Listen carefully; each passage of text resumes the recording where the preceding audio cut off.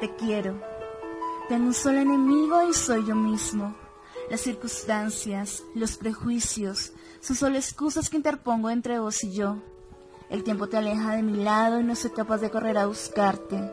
Al verte, permanezco callado en lugar de decir a gritos lo que me pasa.